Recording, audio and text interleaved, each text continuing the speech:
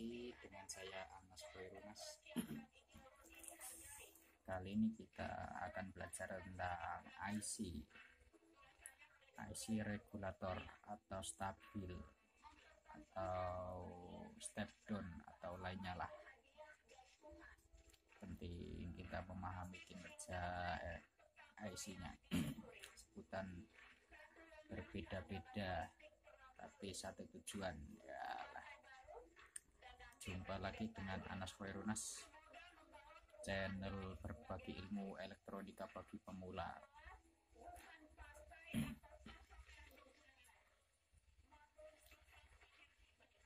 Banyak yang WA saya Mas gimana sih masang cara masang IC regulator? IC stabil 78 bla bla bla. Nah kali ini saya akan menjelaskan cara memasang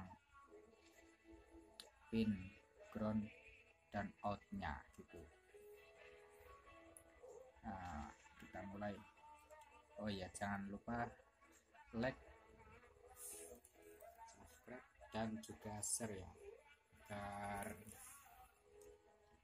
yang lainnya juga ikut belajar elektronika teman-teman tekan juga loncengnya biar gak ketinggalan informasi ilmu dari saya. Nah, kita mulai. Kali ini kita saya memakai contoh esi regulator. Berapa ini? 7808 nah gimana cara masangnya cara masangnya. Ini IC regulator. Innya sebelah kiri. Groundnya sebelah tengah.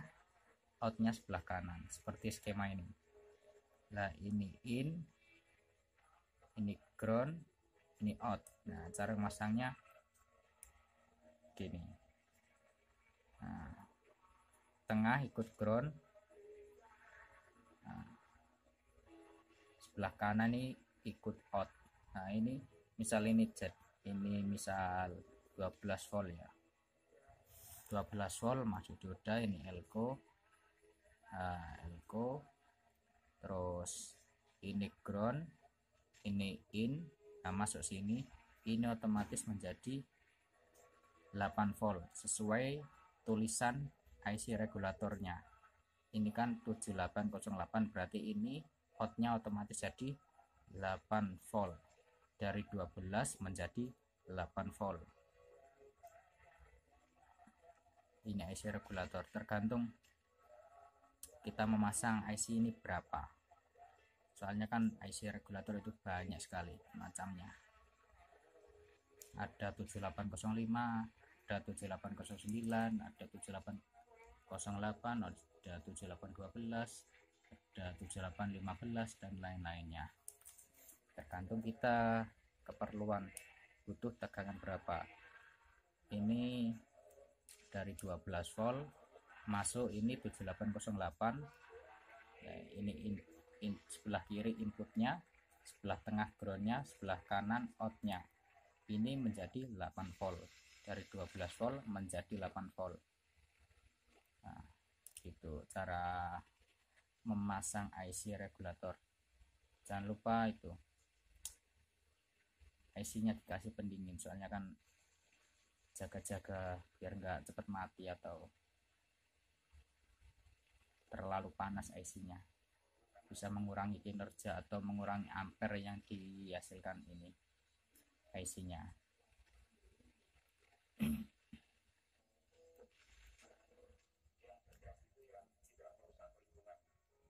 kalau yang ini elko diisi seterah set, terserah lah. Ini bisa 100 mikro 1000 mikro.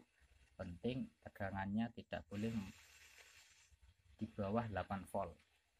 Itu ini juga 1000 mikro atau berapa voltnya 16 volt atau berapa. Penting tidak boleh di bawah 8 volt ya. Ya.